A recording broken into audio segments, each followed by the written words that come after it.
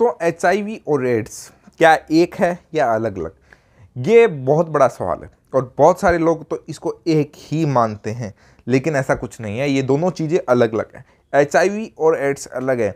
Ads हर इंसान को नहीं हो सकता और एड्स उसी को होगा जिसको पहले एचआईवी हो चुका है। लेकिन सबसे बड़ा सवाल ये भी है कि हर एचआईवी पेशेंट को एड्स नहीं होता है। ओके? एचआईवी होने के दूसरी स्टेज ही एड्स होती है। एचआईवी एक वायरस है एड्स एक बीमारी है।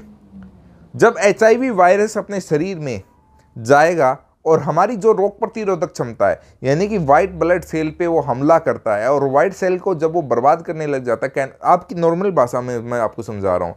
जब वाइट ब्लड सेल यानी कि सफ़ेद रक्त कणिकाएँ, उन पर वो हमला करता है और शरीर में धीरे धीरे धीरे धीरे आपकी इम्यूनिटी कमज़ोर करता जाता है। सी फोर का लेवल डाउन करता है वायरल लोड का लेवल हाई करता है। उसके बाद चांसेस एड्स की तरफ़ चले जाते हैं।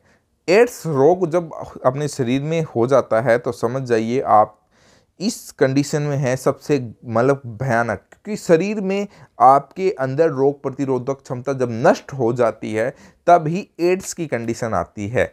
एचआईवी वायरस जब शरीर को पूरी तरीके से बर्बाद कर देगा, तब ही आप एड्स की कंडीशन में पहुँचेंगे। तो इसलिए ये वीडियो समझाने, ये वीडियो बना के आपको ये समझाना चाहता हूँ कि एचआईवी वायरस अलग चीज़ है और एड्स बीमारी अलग चीज़ है। यानी कि एचआईवी और एड्स एक दूसरे से जुड़े हुए हैं, लेकिन अलग अलग तरीके से।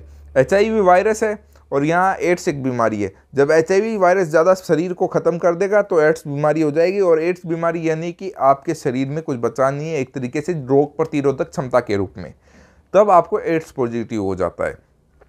अब आपके सम, अंदर एचआईवी वायरस जाता कैसा है इसका मैंने बहुत सारे आपको बताया है कि शरीर में आपके जब एच वायरस एस रोग है, यानी कि सेक्सुअल ट्रांसमिटेड डिज़ीज़ आपने ऐसी कुछ हरकतें या आपको किसी एचआईवी पेशेंट का ब्लड आपके अंदर गया है, चाहे वो किसी कारण के थ्रू गया होगा तो एचआईवी वायरस वो वहाँ से आपके शरीर में आ जाता है।